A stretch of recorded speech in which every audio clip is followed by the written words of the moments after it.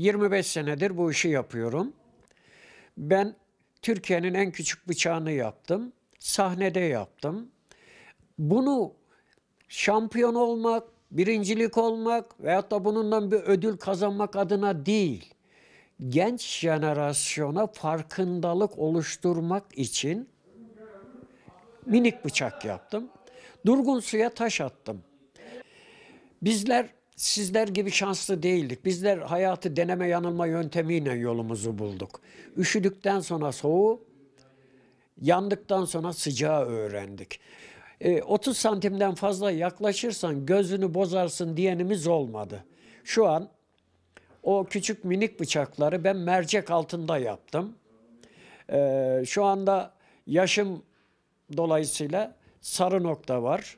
E, görmede yüzde elli görme kaybım var. Minik bıçaklardan çok talep isteyen var, çok talep eden var Türkiye genelinde.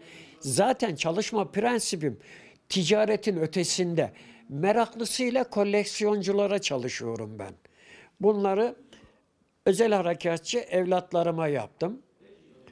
Bu Macaristan'dan bir emniyet şube müdürümüz, güvenlik şube müdürümüz Hakan Bey getirmişti bunu bana. Karaca doğal yollardan ölmüş onun boynuzunu getirdi. Ben de bunu bıçağa uyarladım. Milim olarak yapamam da e, şunu rahatlıkla söyleyeyim mercek altında e, 15 20 zorlarsam belki kendimi 10 milimini yaparım. Malatya'dan istediler. Bunun üzerinde kişinin seceresi yazılı. Ee, belirli yaş grubundan sonra görme bozukluğu başlar. Demin onu söylüyordum.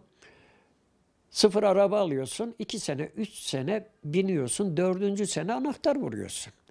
Ben bu arabaya 74 senedir biniyorum evladım. Bu sıkıntılar olacak. Sizler Allah sağlık versin merdiveni çıkıyorsunuz. Ben merdiveni tersten iniyorum.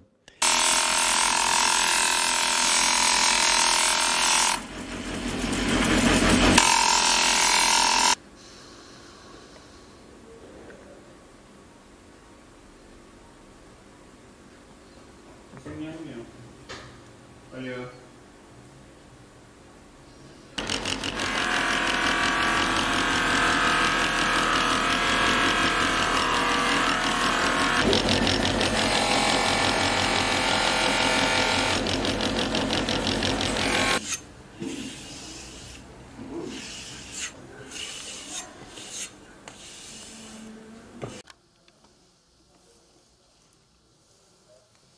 Soruyu kim soracak?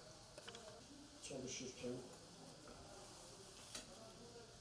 Şu yakından alamıyorsun. Ne mi sunacaksınız? Gençler. Çek. Üç beş boş çek yani.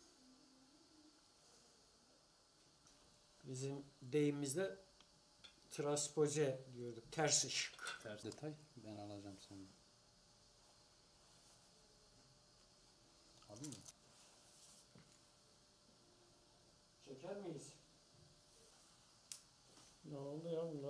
de